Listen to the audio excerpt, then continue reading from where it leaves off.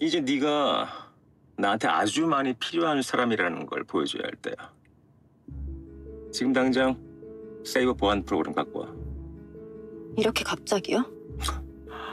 이 정도면 아주 오래 기다려준 거 아닌가?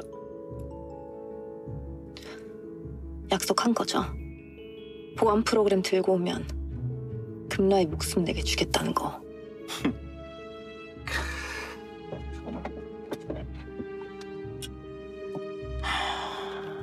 마시면 1분 안에 죽는 약이야.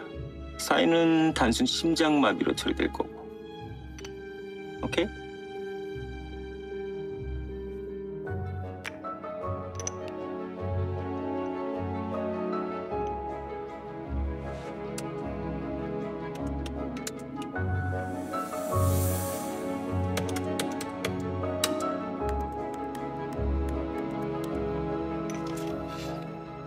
나한테 맡겨요. 어제 보안 프로그램 패스워드 미리 알아놨어요.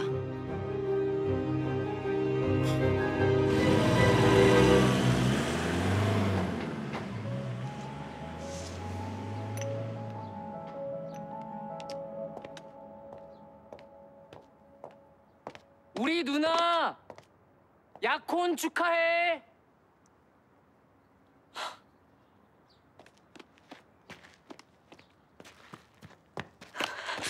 여긴 어쩐 일이야? 금 대표님한테 얘기 못 들었어? 오늘부터 누나 담당 매니저 난데. 뭐? 금 대표님이랑 나랑 공통점이 하나 있더라고. 한문에 재수업소 하는 거. 너 금 대표가 어떤 사람인지 알고 그러는 거야? 관심 없어. 난 너만 잡으면 돼. 경고하는데 다신 엄마 얘기 꺼내지 마. 또 한 번 입 잘못 놀면 그땐 널 죽여버리라는 신호를 알겠어.